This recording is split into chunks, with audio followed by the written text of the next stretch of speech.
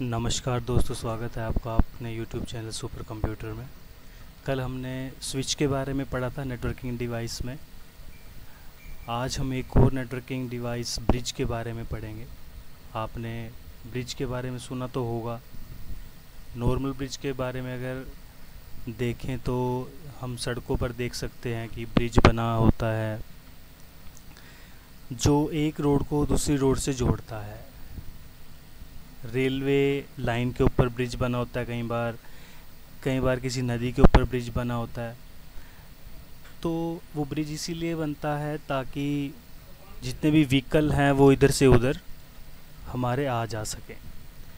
तो network bridge में जो ब्रिज का यूज़ होता है, वो डाटा को यहाँ से वहाँ सेंड और रिसीव करने के लिए यूज़ होता है।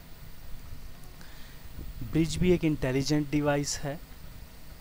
और इसे हम दो पोर्ट का स्विच भी कह सकते हैं। स्विच में हमने कल पढ़ा था, जैसे अनमैनेज स्विच जो हमने पढ़ा था।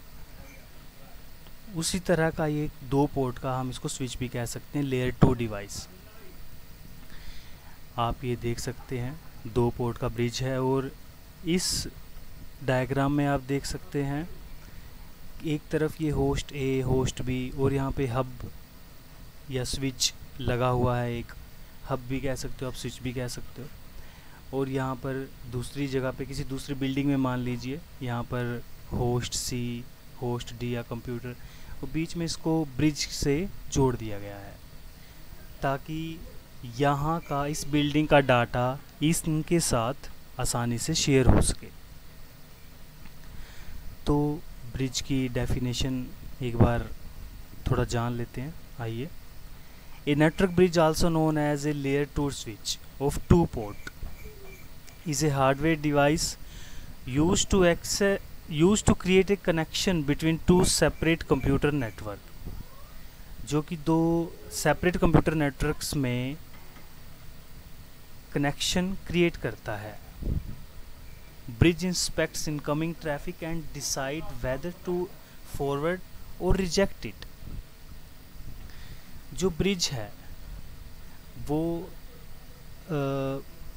आने वाले डाटा को एक बार देखता है और फिर डिसाइड करता है कि इसको दूसरे वाली पोर्ट पे जो नेटवर्क हमने जोड़ा है, वहाँ पर उसको फॉरवर्ड करना है रिजेक्ट करना है। वो आपको थोड़ा सा और इसको डायग्राम बना के समझा देते हैं। रिजेक्ट का क्या मतलब है? मान लीजिए, ये चार कंप्यूटर एक बिल्डिंग में लगे हुए हैं, ये चार कंप्यूटर एक बिल्डिंग में लगे हुए हैं। यहाँ पर हमने एक इसको स्विच से हमने एक जोड़ा हुआ है। इस इन चारों कंप्यूटर्स को भी और इन चार्स को, चार कंप्यूटर्स को भी हमने स्विच से जोड़ा हुआ अब इनको आपस में जोड़ने के लिए हमने बीच में एक ब्रिज लगा दिया। ब्रिज लगा दिया और ब्रिज की दो पोर्ट हैं जैसे। एक वायर को निकाल के इससे जोड़ दिया एक वायर को निकाल के इससे जोड़ दिया और ये सभी कंप्यूटर स्विच से जुड़े हुए हैं।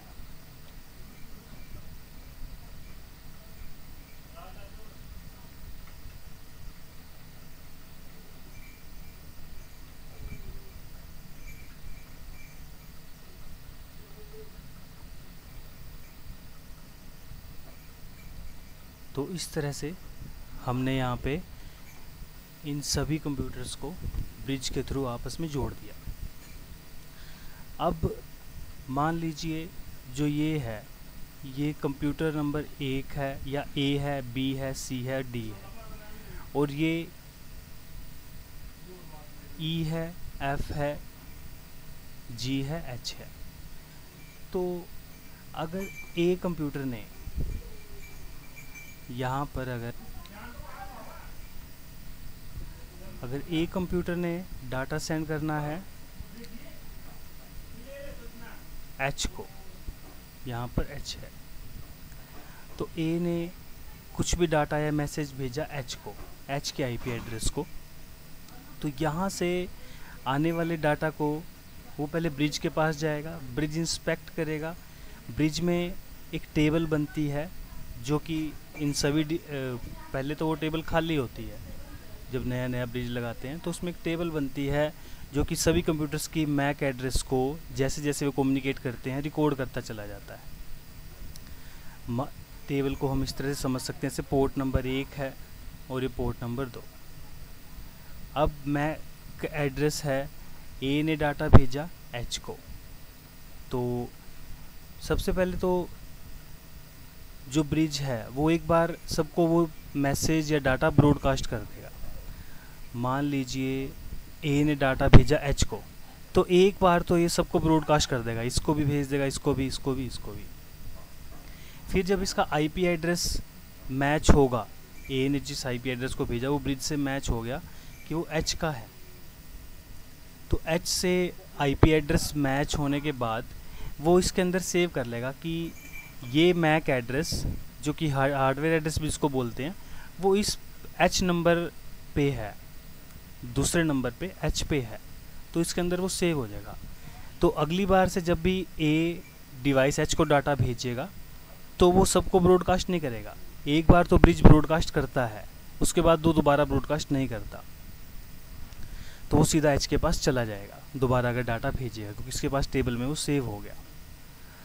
अब बात करते हैं रिजेक्ट की। ये यहाँ पर हम समझा रहे थे bridge inspects incoming traffic and decide whether to forward और रिजेक्ट इट फॉरवर्ड तो वो कर देगा, अगर दूसरी जगह पे कंप्यूटर लगा हुआ है। रिजेक्ट किस केस में करता है?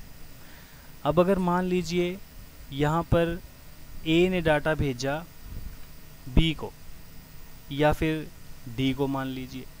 ए ने डाटा भेजा डी को तो डाटा एक बार फिर से ब्रिज के पास जाएगा। ब्रिज फिर से इसको एक बार ब्रॉडकास्ट करेगा, ये जानने के लिए कि ये एक्चुअल में भेजा किसको गया है? फिर से वही आईपी एड्रेस के थ्रू इसका मैक एड्रेस इसकी टेबल में रिकॉर्ड हो जाएगा कि ए ने डाटा भेजा है डी को। इसको पोर्ट नंबर एक पे ही मैं लिख रहा हूँ क्योंकि ए और डी ए और डी जो कंप्यूटर हैं, वो पोर्ट नंबर एक पर ही कनेक्ट हैं। ए और डी जो कंप्यूटर हैं, वो पोर्ट नंबर ब्रिज की एक पर कनेक्ट है। तो उसकी टेबल में सेव हो जाएगा कि जो कंप्यूटर डी है, वो भी पोर्ट नंबर एक पर कनेक्ट है तो वो रिजेक्ट किस इन फ्यूचर जैसे ही कंप्यूटर नंबर एक डी पे डाटा भेजेगा तो वो उसको आगे नहीं जाने देगा। मतलब ई, एफ़, जी, एच के पास वो जाएगा ही नहीं, इस वाले नेटवर्क में नहीं जाएगा, वो डायरेक्ट यहीं के यहीं भेज देगा। तो इससे क्या होगा, इस नेटवर्क की स्पीड जितने भी यहाँ पे कंप्यूटर है, वो ज़्यादा बनी रहेगी। क्योंकि यहाँ का डाटा अगर भेजा जा रहा है तो यहीं पे रहेगा। आगे जा रहा है तो उसको आगे भी ये जाने देगा।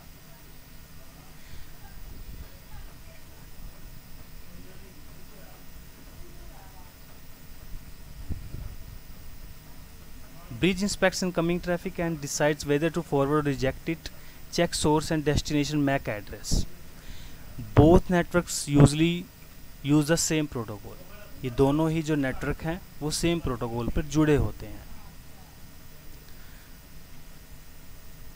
तो दोस्तों, ब्रिज का यही काम था। ये, जैसा कि आपको बताया, एक लेयर टू डिवाइस है। इसको हम एक तरह का लेयर टू स्विच भी कह सकते हैं, एक अनमैनेज स्विच थैंक यू